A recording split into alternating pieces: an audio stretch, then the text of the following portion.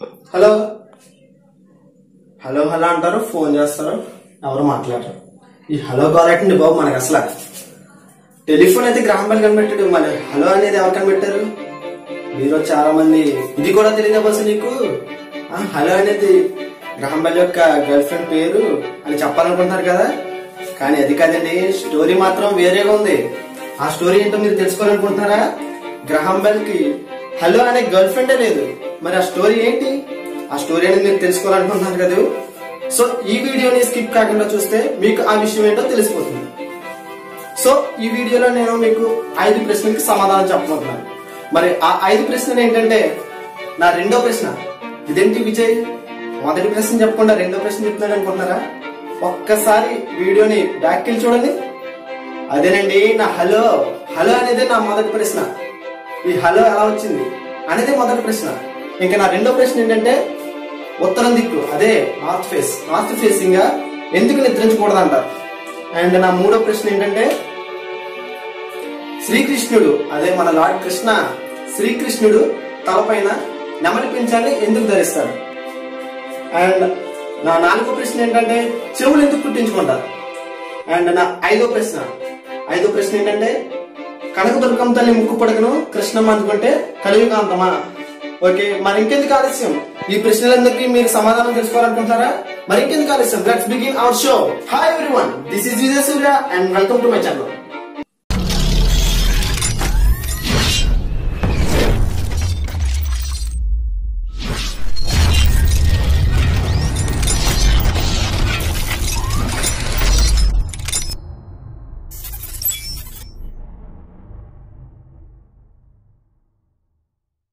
ఫైవ్లో top two question ఏంటంటే ఉత్తరం దిశగా తలపెట్టి ఎందుకు నిద్రించకూడదు అంటారు సాధారణంగా మన హిందూ సాంప్రదాయం ప్రకారం హిందూ పురాణాల్లో ఏం నమ్ముతారంటే దక్షిణ దిక్కు అనేది యముడి స్థానం అని దక్షిణ దిక్కు అనేది యమలోకం వైపు యమలోకం దక్షిణ దిక్కుగా ఉంటుందని నమ్ముతారు. అండ్ మనం చనిపోయినప్పుడు కూడా ఏంటంటే నార్త్ వైపు మన హెడ్ అనేది ఉంచి నేల మీద పడుకోబెడతారు. సో నార్త్ వైపు తలపెట్టి నిద్రించడం అనేది చావుకు ప్రతిగా మన వాళ్ళు నమ్ముతారు. మన హిందూ పురాణాన్ని పరిశీలిస్తే గనక దీని మీద ఒక కథ కూడా ఉంది. ఏంటంటే ఒకనొకసారి పార్వతీదేవి పసుపుతో ఒక బాలుడిని తయారు చేస్తుంది. తనకి ప్రాణం కూడా పోస్తుంది. ఆ బాలుడు ఎవరో తెలుసా? ఇంకెవరండి? విఘ్నేశ్వర స్వామి. ఆ బాలుడిని మందిరం బయట ఉండిచ్చి ఎత్తిన మందిరంలోనికి వెళ్ళి లోనికి ఎవరిని పంపించుకో అని అంటుంది. తర్వాత ఆ సీన్లోకి మన లార్డ్ శివ గారు ఎంటర్ అవుతారు. అదేనండి మన పార్వతీదేవి హస్బెండ్. లోనికి ప్రవేశిస్తుంటే మన విఘ్నేశ్వరుడు అట్టుకుంటాడు శివుడు లోనికి వెళ్తానంటాడు విఘ్నేశ్వరుడు వద్దంటాడు. శివుడికి చాలా కోపం వస్తుంది. కోపం వచ్చి ఏం చేస్తుందంటే మన విఘ్నేశ్వర స్వామి తల అంతే సో కొంతసేపటికి పార్వతీదేవి వస్తుంది. వచ్చి ఆ విషయం దాన్ని చూడడం వల్ల ఏమవుతుందంటే నాకు కొడుకు కావాలి కావాలని పెట్టుకుని కూర్చుంది. అంతేనండి. తన గణాన్ని పొందించి మొత్తం ఉత్తరం వైపు ఎవరైతే ముఖం పెట్టుకుని తల పెట్టుకుని పడుకుంటారో వాళ్ళ శిరస్సును ఖండించి తీసుకురమ్మని ఆజ్ఞాపిస్తారు.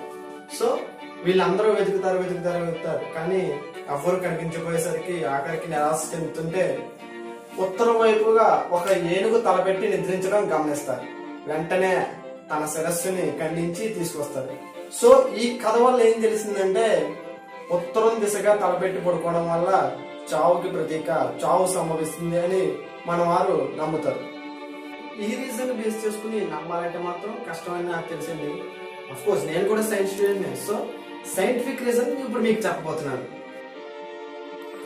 మన భూమిలో గ్రావిటేషనల్ ఫోర్స్ అనేది ఉత్తర దక్షిణ ధ్రువాలుగా ఇమిడి ఉంటుంది. నార్త్ వైపు ఫేస్ పెట్టి నిద్రించామంటే ఏంటంటే ఉత్తర దక్షిణాల్లో ఉన్నటువంటి ఆ శక్తివంతమైన విద్యుత్ తరంగాలు మన మెదడులో ఉన్నటువంటి దాగి ఉన్న విద్యుత్ తరంగాల్ని తగ్గించి వస్తాయి. దీనివల్ల అనేక మానసిక రోగాలు వస్తాయి. బ్లడ్ సర్క్యులేషన్లో లోపాలు తలెత్తుతాయి. మన బ్రెయిన్లో ఎన్నో తేడాలు వస్తాయి. సో ఎలాగో సామెత ఉంది. పెద్దవాళ్ళ మాట చెద్దన్నమాట సో నా రెండో ప్రశ్నకి మీకు సమాధానం తెలిసింది కదా? ఇక నా మూడో ప్రశ్నకి సమాధానం. శ్రీకృష్ణ పరమాత్ముడు తలపై నెమలి పింఛని ఎందుకు ధరిస్తాడు? ఈ సకల చరాచర సృష్టిలో సంభోగం చేయని ఏకైక ప్రాణి నెమలి మాత్రమే. కృష్ణుడికి పదహారు వేల మంది గోపికలు. మీరు సరిగ్గానే ఉన్నారు. పదహారు వేల మంది గోపికలు. కానీ శ్రీకృష్ణుడు ఇన్ని వేల గోపికలతో కేవలం సరసర మాత్రమే ఆడేవాడు. అల్లరి చేసి గెలిచేవాడు మాత్రమే. మితిమీరేవాడు కాదు. ఈ విషయాన్ని తెలియజేయడానికి శ్రీకృష్ణుడు తన తలపైన నెమలిపించని ధరిస్తాడు. శ్రీకృష్ణుడు కేవలం అల్లరి కృష్ణుడు మాత్రమేనండి నా టాప్ ఫైవ్ క్వశ్చన్స్లో టాప్ ఫోర్త్ వన్ ఏంటంటే చెవులు ఎందుకు కుట్టించుకుంటారు? మామూలుగా చెవులు ముక్కు కుట్టించి ఆభరణాలు ధరింపు చేసి మురిసిపోయే ఆ కార్యక్రమంలో ఒక ఆరోగ్య రహస్యం కూడా దాగి ఉందని మీకు తెలుసా? చెవులు కుట్టించుకుంటే కంటి చూపు యొక్క శక్తి పెరుగుతుంది. ఆక్యుపెంచర్ అనే ఒక వైద్య విధానం ఏం చెప్తుందంటే చెవులు కుట్టించుకోవడం వల్ల శరీరం మొత్తానికి శక్తి పెరుగుతుందని మంచిదని చెప్తుంది. టాప్ ఫైవ్లో ఫిఫ్త్ క్వశ్చన్కి ఆన్సర్ ఏంటంటే పోతులేరు వీరబ్రహ్మం గారి కాలజ్ఞానం మీ అందరికీ తెలిసే ఉంటుంది. ఆయన ఆ కాలజ్ఞానంలో దోమశకటాలు నడుస్తాయని ముఖానికి రంగు వేసుకున్న వాళ్ళు దేశ నాయకులు అవుతారని ఇంకా భర్త లేని స్త్రీ రాజ్యం ఏలుతుందని ఇంకా నీటిని కొనుక్కోవాలని కొనుక్కుంటామని చెప్తారు.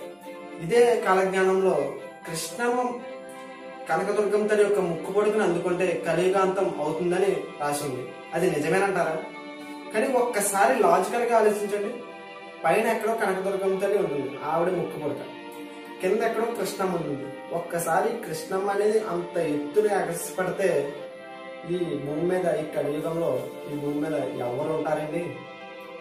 ఇంత కింద నుంచి అంత పైకి కృష్ణమ్మని కృష్ణమ్మ గనక అంత పైకి వెళ్తే మొత్తం నీరే కదా.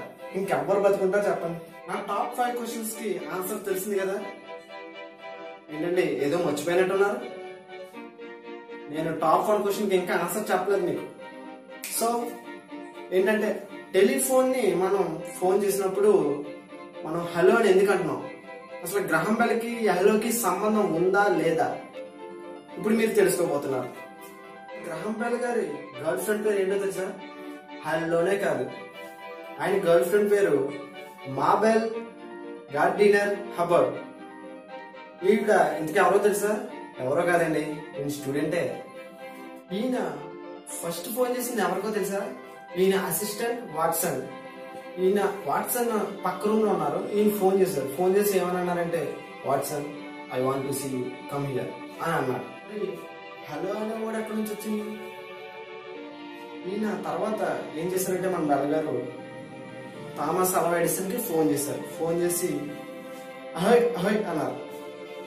ఈ అహయ్ అహయ్ అనే వర్డ్ ఏంటంటే షిప్స్ని హెయిల్ కింద ఉపయోగిస్తారు అనమాట అంటే దూరం నుంచి వేరే షిప్స్తో మాట్లాడాలంటే ఒక అటెన్షన్ మా ముందు పే చేయండి ఒక అటెన్షన్ ప్లేస్ అనే అనే వర్డ్ మీనింగ్ వచ్చిన అహయ్ అహయ్ అనే వర్డ్ షిప్స్లో. సో అటువంటి వర్డ్ని మామూలుగా థామస్ ఎడిసన్కి ఫోన్ చేసినప్పుడు అహోయ్ అహోయ్ అని అన్నారు. కానీ అప్పట్లో ఇప్పుడు ఫోన్సే ఏదో మాట్లాడుతుంటే ఇంకేదైనా పడుతున్నాయి సో అప్పట్లో ఇంకా ఫోన్ అప్పుడే కనిపెట్టారు కాబట్టి ఆ ఫోన్ ఇంకా గజిబిజిగా ఉంది. సో ఆ మాట్లాడింది ఎడిసన్ గారికి ఏమని అనిపించిందంటే హలో హలో అని అనిపించింది. సో హలో అనే వర్డ్ అలా నాని పలికింది అనమాట అండ్ హలో అనే వర్డ్ హోలా అనే ఒక వర్డ్ నుంచి వచ్చింది. హోలా అంటే అటెన్షన్ అని మీరు చేస్తున్న పని ఆపి దయచేసి వినండి అనే వర్డ్ మీనింగ్ వచ్చేలా ఉంటుంది సో హలో అనే వర్డ్ గురించి మీకు హిస్టరీ తెలిసింది కదా? నేను మీకు ఇప్పుడు చెప్పిన ఈ ఇన్ఫర్మేషన్ అంతా నా రీసెర్చ్ అండ్ నెట్లో తీసిన ఇన్ఫర్మేషన్ బేస్ చేసుకునే చెప్పాను. అండ్ నా నెక్స్ట్ వీడియోలో రాబోతున్న ఫైవ్ క్వశ్చన్స్ ఏంటంటే దేవుడి ముందు కోరుకున్న కోరికే బయటికి చెప్తే తీరదా? దేవుడి ముందు కొబ్బరికాయ ఎందుకు కొడతాం మహిళలు దేవుడికి సాష్టాంగ నమస్కారం ఎందుకు చేయకూడదు? లక్ష్మీదేవి పత్రాన్ని చూసినప్పుడు ఆవిడ తామర పూలను ఇరుపక్కల రెండు ఏనుగులతోనూ కనిపిస్తుంది. అలా ఎందుకుంటుందంటారు కార్యక్రమాల్లో ఆలోచిస్తారు. హారతి ఇవ్వడం వల్ల లాభం ఏంటి? ఈ ఐదు క్వశ్చన్స్కి ఆన్సర్స్ నా నెక్స్ట్ వీడియోలో రాబోతుంది. అండ్ ఈ వీడియో మీకు నచ్చినట్లయితే please subscribe and click the bell icon signing off